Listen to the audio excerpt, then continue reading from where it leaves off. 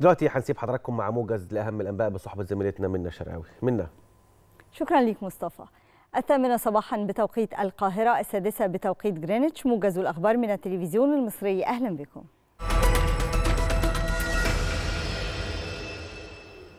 أكد الرئيس عبد الفتاح السيسي استمرار مصر في بذل كافة الجهود الرامية لدعم سبل استدامة السلام وترسيخ الاستقرار في القارة الأفريقية. وفي كلمة له بمناسبة أسبوع الاتحاد الإفريقي لإعادة الإعمار والتنمية فيما بعد الصراعات دعا الرئيس السيسي الشركاء الدوليين لاستمرار دعمهم لتعزيز جهود القارة نحو غد أفضل. وقال الرئيس السيسي إن احتفال الاتحاد الإفريقي بالنسخة الثانية لأسبوع إعادة الإعمار والتنمية يأتي تزامنا مع تزايد العديد من التحديات والأزمات على المستويين الإقليمي والدولي. وهو الأمر الذي يبرز أهمية تعزيز الجهود المشتركة لتنفيذ محاور سياسة إعادة الإعمار والتنمية في الدول التي شهدت صراعات عبر الأدوات المختلفة وعلى رأسها دعم المؤسسات الوطنية وتعزيز قواعد وأسس الحكم الرشيد وتنمية سبل استدامة السلام بما يحول دون الانزلاق في دائرة الصراعات. أكد رئيس مجلس الوزراء مصطفى مدبولي أهمية الاستمرار في نهج الانضباط المالي والحفاظ على المسار الآمن للموازنة العامة رغم التحديات العالمية الراهنة. جاء ذلك خلال الاجتماع الذي عقده مدبولي لاستعراض التقديرات الأولية للموازنة العامة للدولة للعام المالي الحالي. وشهد الاجتماع مناقشة عدد من النقاط المرتبطة بأداء الموازنة العامة للدولة للعام الجاري من بينها التقديرات الإجمالية الأولية للأداء المالي للعام الحالي وكذا التقديرات الأولية لأداء الإيرادات والمصروفات العامة.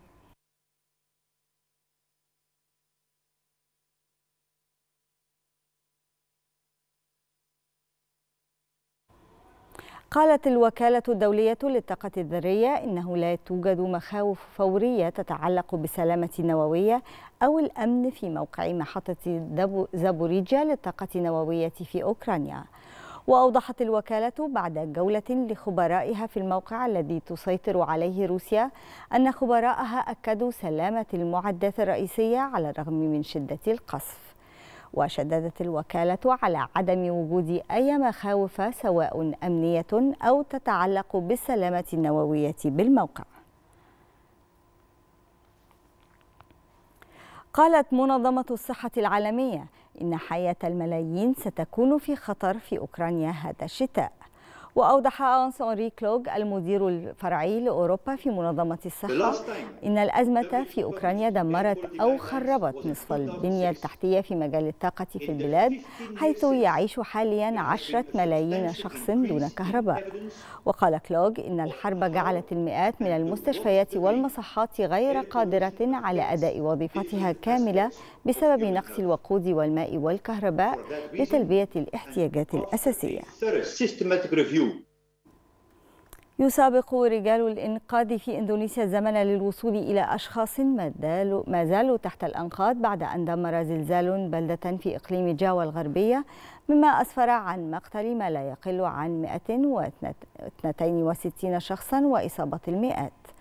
وقالت وكالة وكالة مكافحة الكوارث أن الزلزال الذي شعر به الناس بقوة في العاصمة جاكرتا ألحق أضرارا بما لا يقل عن 2200 منزل وشرد أكثر من 5000 شخص.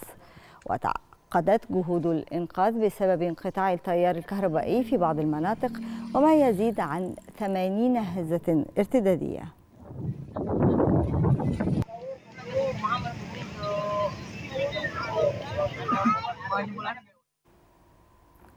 لقي 36 شخصا مصرعهم وأصيب آخران. جراء حريق شب في مصنع بمدينة أنيانغ بمقاطعة خنان الصينية.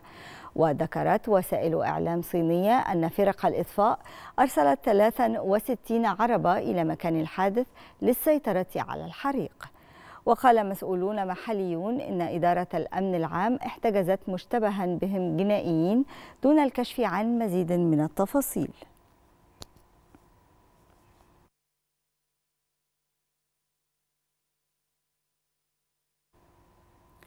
رفض اتحاد النقل الموحد الذي يمثل عمال السكك الحديدية والحافلات والنقل الجماعي وخطوط الطيران في الولايات المتحدة. رفض اتفاق المطالب المبدئية للعمال والذي توسط فيه البيت الأبيض. ووفقا لجمعية السكك الحديدية الأمريكية فإن الاقتصاد الأمريكي على وشك أن يخسر نحو ملياري دولار يوميا مع احتمال إضراب عمال السكك الحديدية عن العمل. وهو ما سيؤدي إلى إغلاق قطاعات كبيرة من خدمة القطارات في مختلف أنحاء الولايات المتحدة.